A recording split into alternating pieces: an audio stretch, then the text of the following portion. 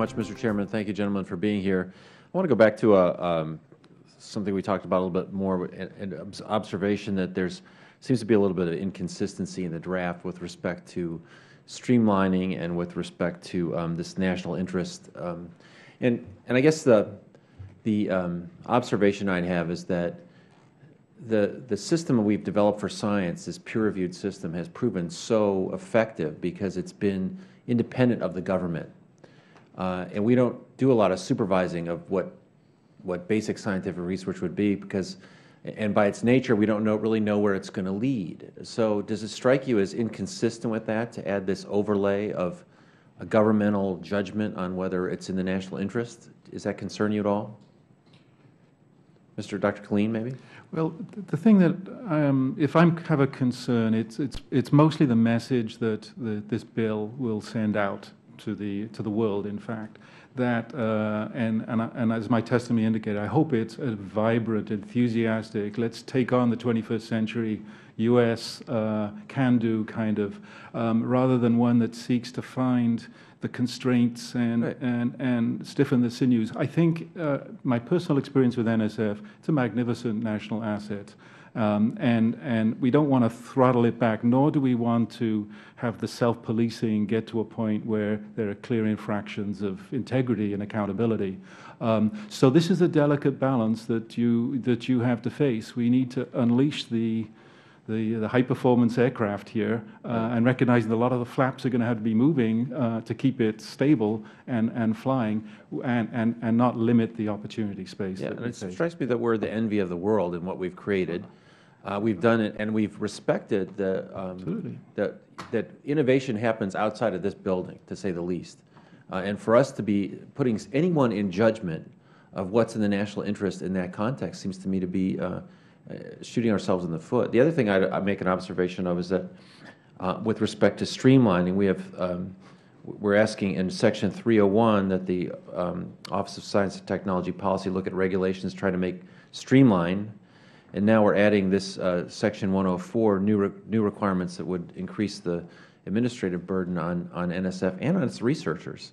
Uh, so it's it just seems to me that we ought to be combing out of these out of this. Um, the interference that the government would pose on a system of scientific research, not just with NSF, but across the, uh, across the board, including things like NIH, that has proven to be so innovative and, um, and productive and has set us up as the leaders in science in, in the world. So it does strike me as odd that we would be in this committee trying to find ways to constrain what has been so successful. Uh, which, which bureaucratic um, uh, assuming you accept the notion that we should be asking the government to decide uh, what, what the um, uh, scientific value or the national interest is in this research, uh, what would be the, what would be the um, kind of bureaucratic setup and findings that wouldn't interfere in the way that I'm expressing a concern about it? Do you see any way that you could set it up without, without interfering in, in what's been such a success already? Anyone? Can, can I step in here for a minute? Yeah, I, I, think it's important not, to, so peer, it's, it's, certainly important to protect peer review from political interference and from bureaucratic excess. But it's also important not to treat it as sacrosanct and as if it's always perfect. I think I've been, I've never administered uh, peer-reviewed programs, but I've been a peer reviewer. I've been on NSF peer review panels. Um, so I'm familiar, and I've been the subject of, of peer review, uh, both positive and negative. Um, so no one thinks it's perfect, and I think that it's important to understand how to uh, improve it, especially in a time of fierce competition. Um, getting back to, to the uh, Economist article that I opened my yeah.